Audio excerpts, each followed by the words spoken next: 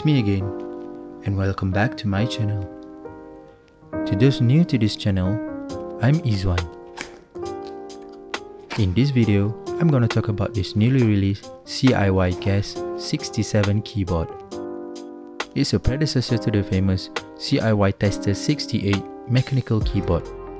The Tester 68 is considered as one of the cheapest mechanical keyboard out there with a tri-mode offering. However, this GAS 67 only support wired mode. I bought this keyboard during the pre-order period from Taobao. It cost me for around 180 ringgit or 30 US dollar.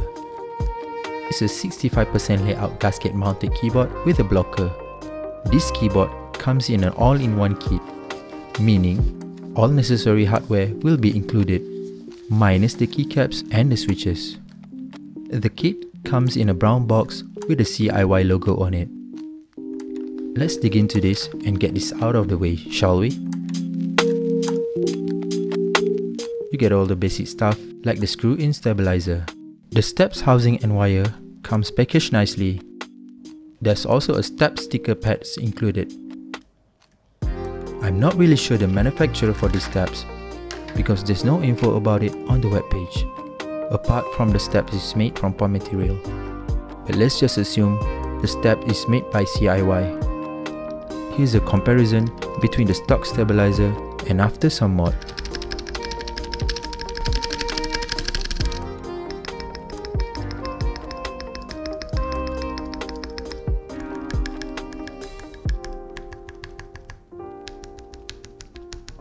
The stabs in stock configuration are just hmm.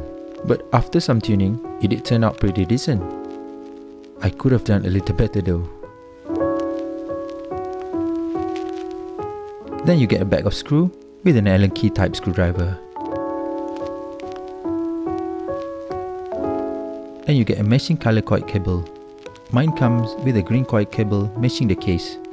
Nothing fancy, no aviator connector whatsoever, but it is still a nice touch to include this instead of a normal non-braided USB cable.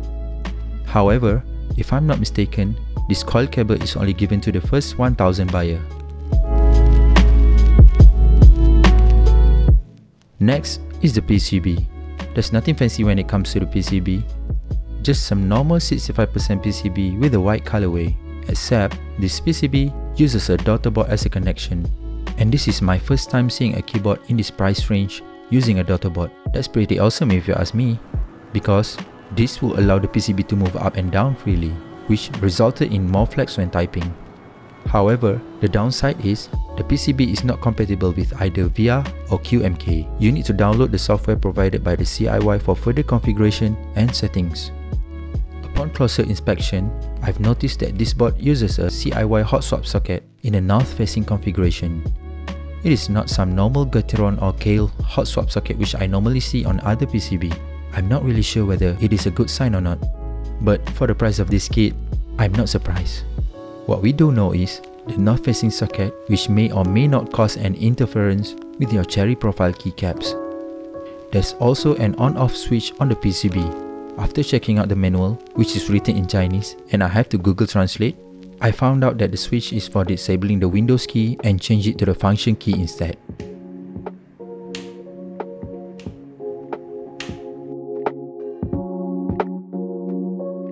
It also comes with a necessary dampener. There's a plate dampener or mute silicone and a switch pads. The plate dampener is made from silicone. This reminds me a lot of KBD67 Lite and RamaWorks mute silicone which is also made from the same material. However, the mounting mechanism is different from those two. The GAS 67 uses a more traditional gasket mounting approach. And on top of it, the kit comes with a white IXPE switch foam for that marbly sound signature.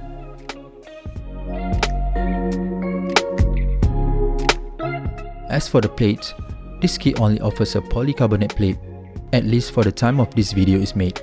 But the good thing is, this PC plate is one of my favorite type of plate. I love the sound coming from a PC plate and a nice soft bouncy typing feel it provided. Please note that this is just my personal preferences.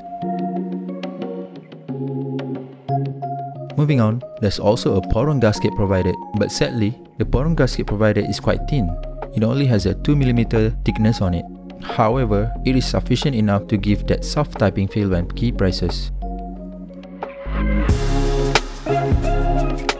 Moving on to the case, it is made from ABS plastic. It comes with three variants to choose from, a black translucent, blue or purplish translucent, and a green translucent. Mine comes with a green translucent. The only branding on the board is located at the bottom of the case. And there's also a detail for downloading the driver from their website on the bottom of the case. Honestly, I kinda like the case. The only gripe is, this case has no metal inserts on the screw thread. There are 4 rubber stickers provided to be used as a case feed, and at the bottom of the case, you can see a spot for a flip out case feed. The flip out case feed is to provide more elevation to those who prefer a steeper typing angle. Now it's time for a typing test. For this video, I'm using a budget linear switch, the KTT Kang White. And as for the keycaps, I'm using the classic GMK white on black keycaps. So here we go.